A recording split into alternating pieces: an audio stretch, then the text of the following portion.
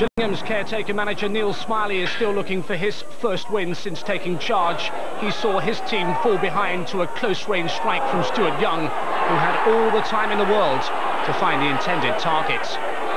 Scunthorpe boss Dave Moore, who'd released five players in a clear-out at the club, must have thought his team were in line for valuable playoff points. But Adrian Foster had other ideas.